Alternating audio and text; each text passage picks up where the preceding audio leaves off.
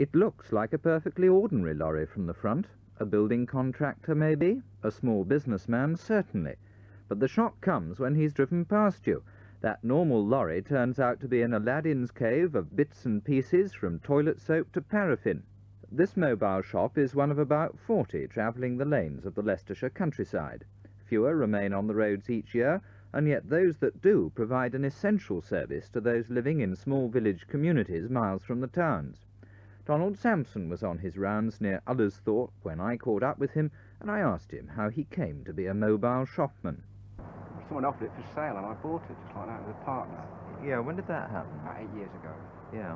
What gave you the idea to take up this sort of job? No challenge? idea at all. Were you working for someone else? Oh yes, yes.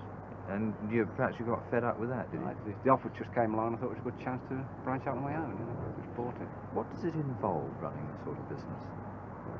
Hardware and uh, meeting people all day and this kind of thing. Yeah, looking at the back here, I can see you're stoked up with wood and paraffin and oil. Now, do a lot of people in the Leicestershire villages still use old coal fires?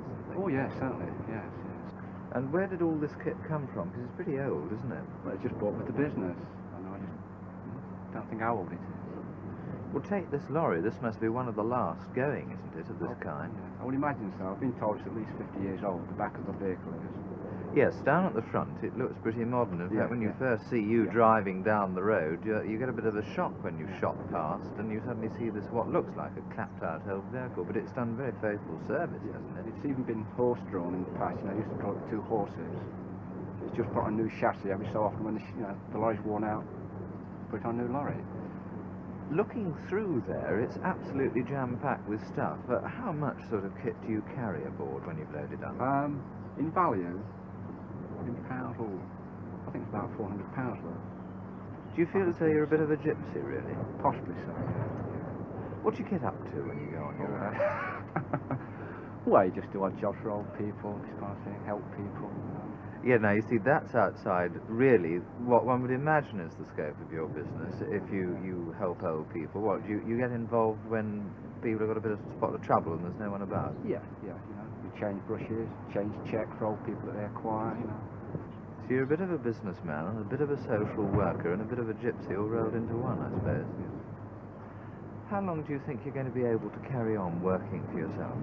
Difficult question today, isn't it? Nobody knows. I mean, we can't see the future. I hope another five or ten years at least. Difficult for the self-employed today.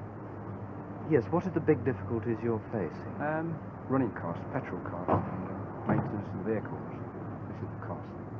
You see, you're still a young man, and if you think you've only got another five or ten years left of this this business, what the heck are you going to do at the end of it? Sort something out. There's always something crops up, isn't there? You sound, in fact, a bit like Mr. Micawber, that something will always Oh, turn up. true. And luckily for the people in the Leicestershire villages, you're there, Mr. Micawber, Yeah. because without you, I think it is fair to say, isn't it, that they would be pretty cut off. And yes, they, in they many, miss... many cases, yes. yes.